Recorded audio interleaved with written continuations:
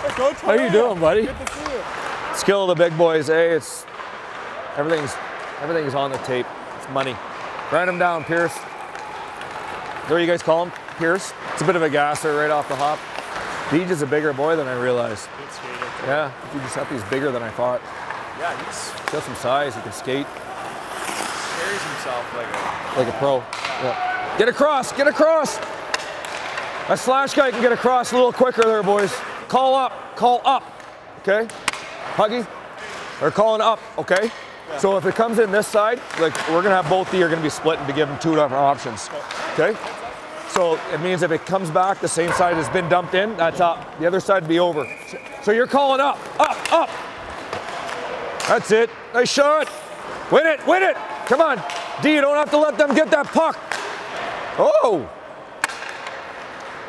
Like you meant for it to happen there, huh?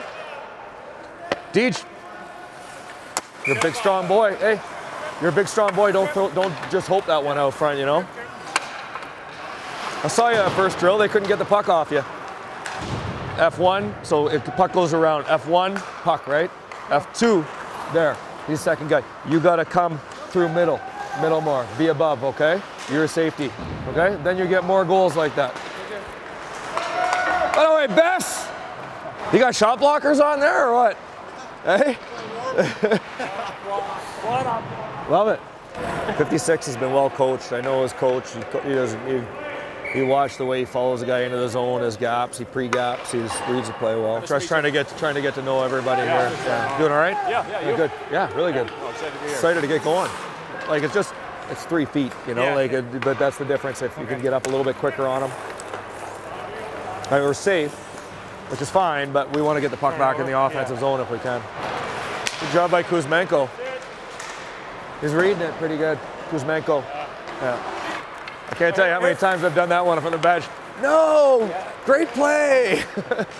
Bainsy. You- You can get up, you can get up on him so that puck goes over there, you can jump that guy. That one right there, you actually turn it over, all right? But get up so that puck goes over right now instead of sitting back and just kind of locking the short side. If it goes D to D, we want you, boom, on him right away, just like you did the first time. Contact, get on him quick. Whoa! You're getting physical all day today, huh? Right here. I thought he for sure saw me.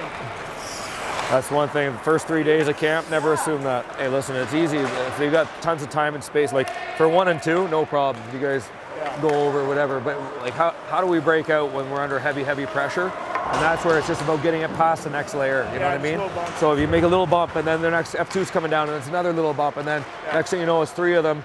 And you, for a guy like you, you'll love it because you'll be the first guy to touch the puck, and you're going up the. You can almost slingshot yourself up the ice. Keep going, keep going.